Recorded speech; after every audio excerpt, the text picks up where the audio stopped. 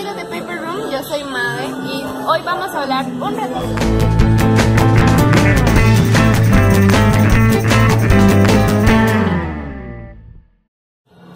Desde muy pequeña siempre me encantó la música.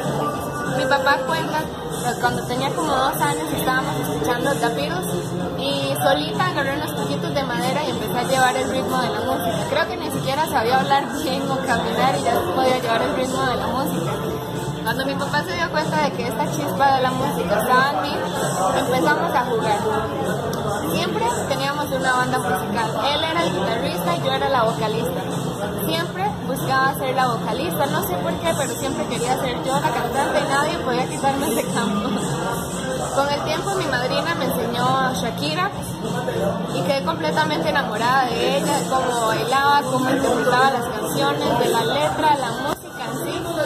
Quedé completamente enamorada de esa gran artista y empecé a cantar sobre Shakira donde hubiera un escenario, ya fuera en un restaurante, hasta en la iglesia me metí a cantar Shakira porque yo veía una oportunidad de cantar y lo que me sabía era Shakira. Como a mis 12 años surgió Hannah Montana y yo dije, yo quiero ser Hannah Montana.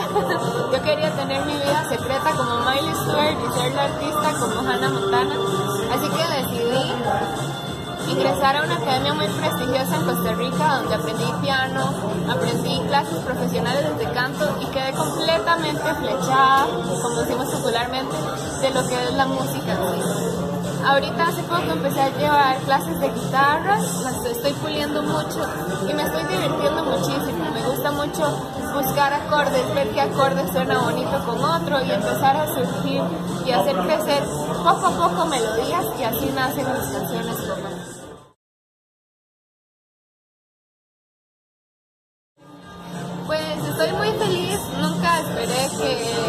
Público reaccionara de una manera tan fuerte y tan rápida. Cuando tenía 15 años, para la misma fiesta decidimos hacer una fiesta temática que consistía en el concierto de mis 15, así se llamaba mi cumpleaños. Y decidimos dar como recuerdo discos grabados por mí, pero solo covers ahí conocí al sonidista que vio el potencial que había en mí empezamos a buscar un grupo para crear un álbum completo de 11 sencillos completamente originales que a fin de cuentas cuando ya conocí a mi equipo actual de producción decidimos que no podíamos lanzar ninguno porque eran canciones de una chica de 15 años y ya no, ya no iban con la mujer de 20, 19. Entonces volvimos a trabajar, mi equipo actual me dijo, madre, tienes una muy linda voz, pero ¿qué tal si intentas hacer algo más balada, algo pop, algo muy romántico?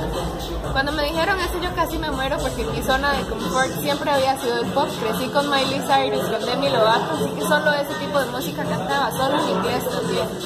Cuando me dijeron eso casi me muero porque soy muy hiperactiva y para mí interpretar baladas era ser que en un solo lugar. Me arriesgué lo hice y el público lo recibió con mucho amor, mucho cariño. Mis dos primeros sencillos, Ya no y Me desenamoré, ambos fueron baladas y alcanzaron cosas increíbles. Ya no, que fue el primero, me abrió las puertas para salir de Costa Rica. Llegó a las primeras posiciones, Me desenamoré. Logró cumplir un récord de Costa Rica que fue superar el himno nacional. Podemos decir que por un mes Me desenamoré fue el himno nacional de Costa Rica, lo escogió el público. Y, y, ahorita estoy haciendo un cambio en mi género porque me gustaba mucho la balada, pero quería volver a hacer algo más movido, algo más divertido. Y estoy funcionando por lo que es el género pop urbano y me ha gustado mucho. Creo que estoy volviendo a mi, a mi charco, como decimos popularmente, y me siento muy cómoda en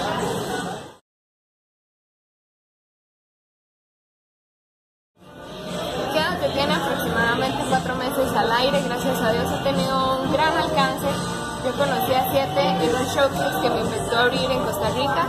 Gracias a él me llegó el contacto de Icon Music. Soy la primera centroamericana en haber grabado con ellos, lo que me llena de mucho orgullo poder decir que represento a Centroamérica en un lugar tan importante actualmente porque Icon Music ha trabajado con gente como CNCO, Piso 21, Sebastián Yatra, incluso J Balvin, y poder decir que quédate, es familia de esos grandes trabajadores, esos grandes músicos, es para mí realmente un gran honor y nada estoy muy muy orgullosa. Siempre le digo a mis seguidores que sin menospreciar mis otras producciones, Quédate es mi favorita.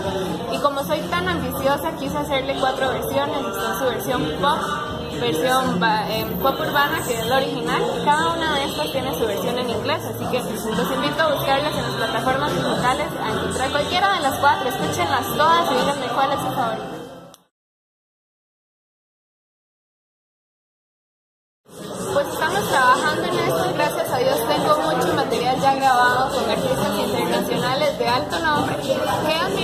Durante mucho tiempo, pero hay tanto, tanto, tanto que no sé cuál escoger todavía para formar este álbum, así que poco a poco estaré revelando.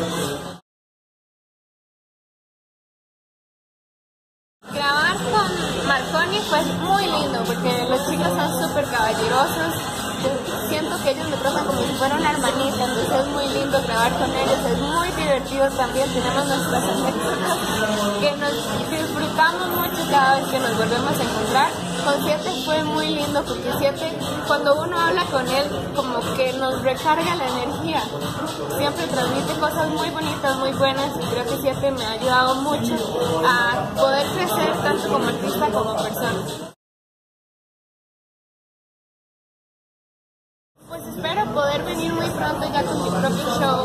Cantar con todos. Algo que me sorprendió mucho en esta última gira en Centroamérica es que canté en unos pequeños shows y todo el público coreaba mis canciones. Estoy muy agradecida con todos, me ha tomado muchas sorpresas y acá en México incluso me hicieron un club de fans en Facebook, así que creo que tengo la obligación de venir a cantar en algún momento. Espero que sea muy pronto. Aprovecho para invitarles a que me sigan en mis redes sociales, Facebook, Twitter Instagram como Made Oficial CR, porque por ahí voy a estar subiendo desde mi preparación, el maquillaje, la ropa, hasta cuando ponga el pie por primera vez en la alfombra roja, así que los invito a seguirme para que no se pierdan de todo lo que fue mi experiencia.